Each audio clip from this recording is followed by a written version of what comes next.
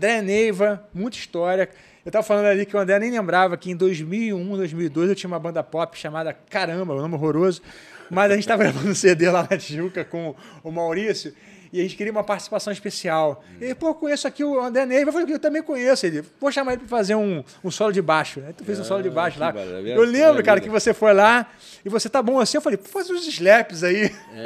Ah, me lembrei agora Lembrou, disso. Cara. Me lembrei dessa situação. Lembrou dessa Exatamente situação? Exatamente dessa situação. Olha que bacana. Agora que eu me quando a gente falou aqui em off, eu não tinha me lembrado, mas me lembrei agora dessa situação. Pô, tem muitos anos. Aqui. 2001, 2002, 2001, é. cara. E desde então, né, eu nunca mais deixei de acompanhar. Mas vamos lá, Bom. cara. André Neiva, tijucano, vivendo no Grajaú desde, desde da mocidade? Desde seis anos de idade. Desde seis anos de idade.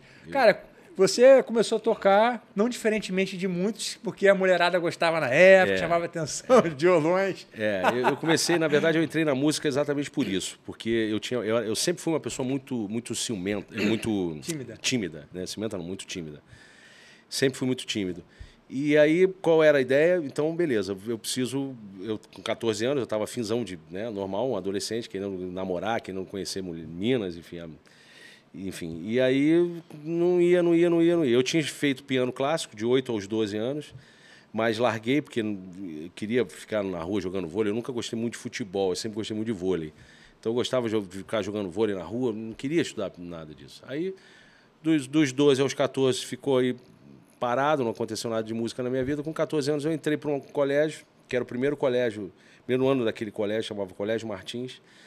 E na turma tinha um violonista que é meu amigo até hoje, mora em Portugal, Marcelo Miranda, um grande amigo, grande amigo.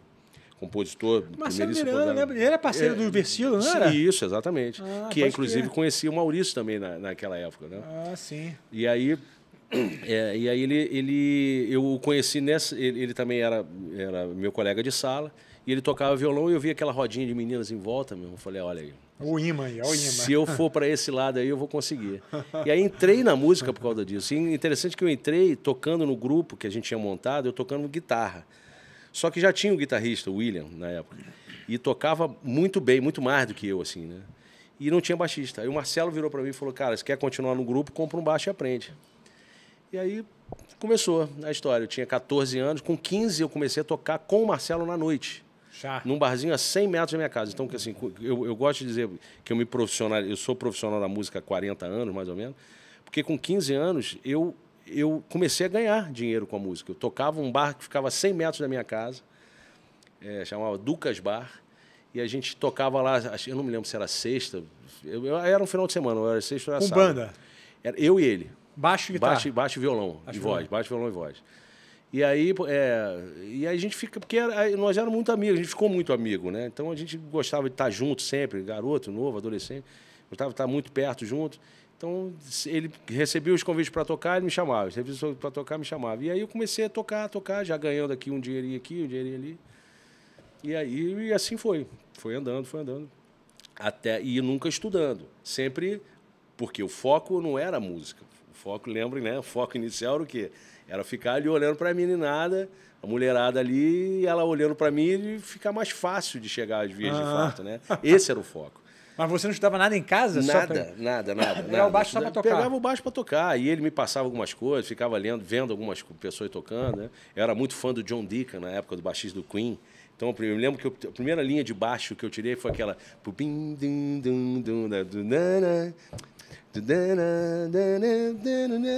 É Radio Gaga, se não me engano. Ah, tá. Aí eu tirei aquela virada pro bim, bim, bim, bim dele. Eu falei, pô, agora eu sou um baixista. Walking bass. é.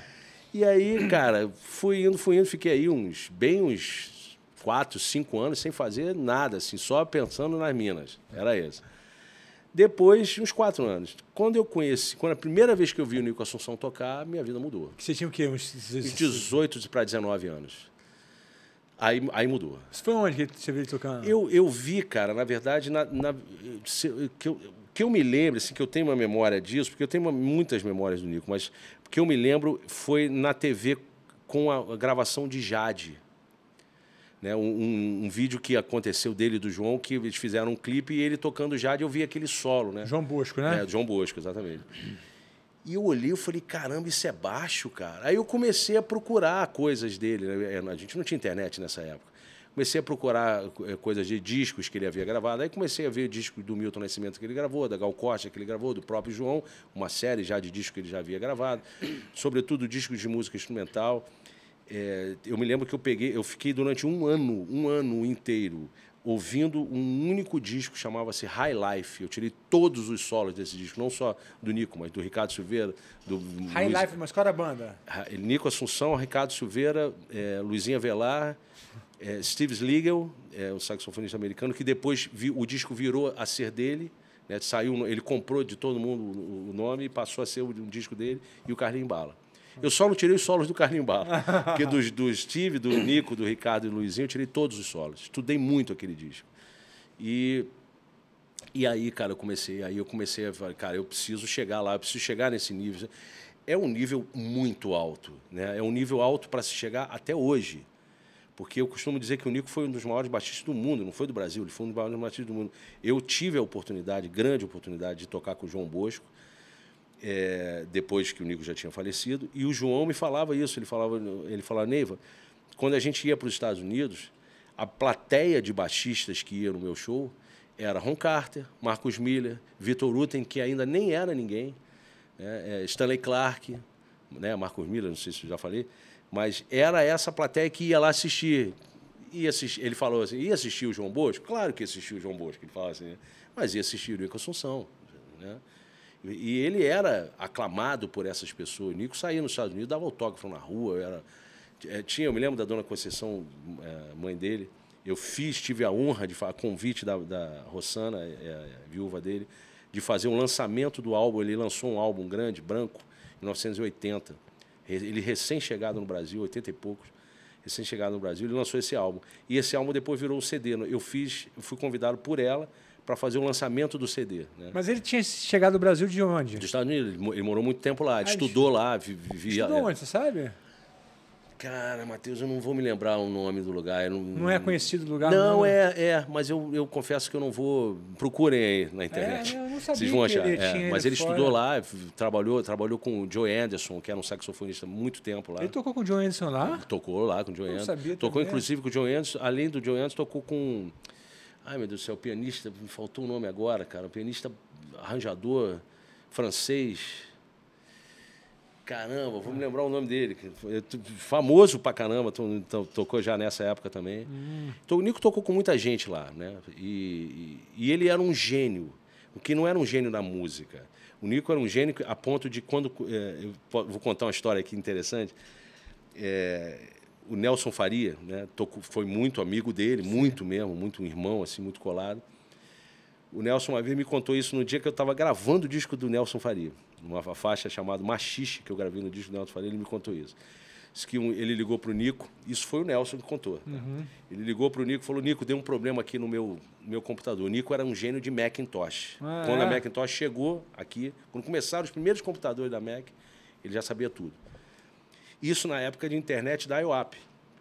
Não tinha internet a cabo, a rede, né? É, é, banda larga. Discada, né? É, era da IOAP, era discada. E aí ligou para ele e falou, Nico, tô, tô com problema aqui no meu, pô, no meu computador, cara, não sei o que, não sei o que, que houve. Aí o Nico, do jeito que era, no mínimo você fez alguma besteira aí que você estragou seu computador, né? Uhum. Aí, não, tudo bem. Ele falou, cara, faz o seguinte, desliga o telefone, vai tocar o telefone aí.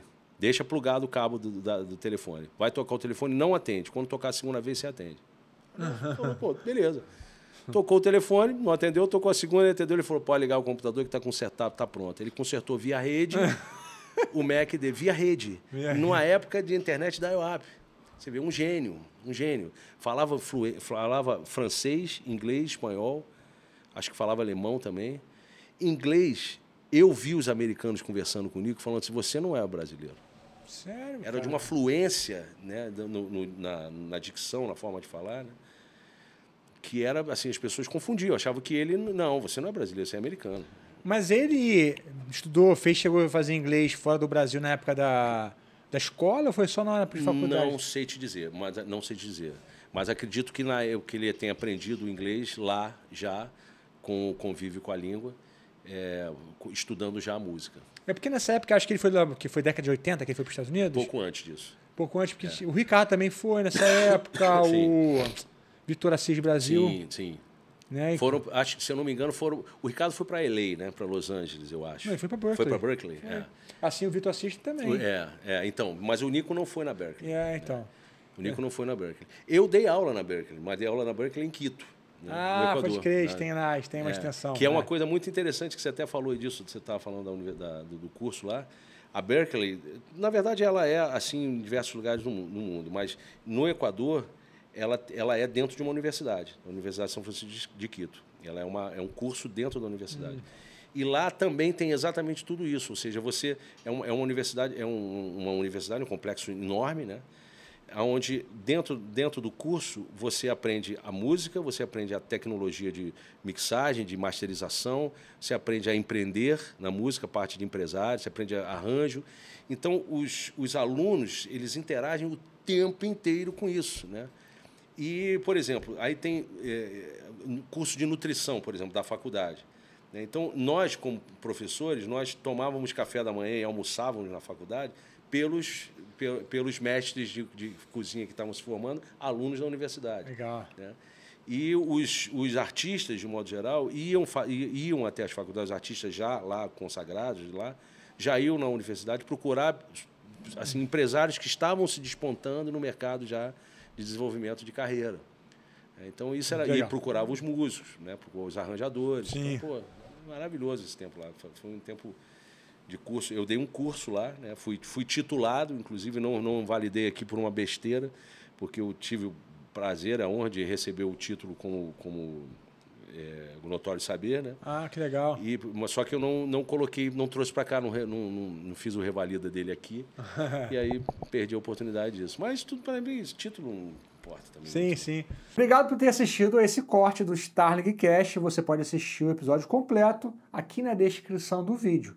E aproveita se você é guitarrista para fazer parte da maior escola virtual do Brasil, exclusiva para guitarristas, tocando ali no QR Code ou então na descrição do vídeo. Te aguardo lá.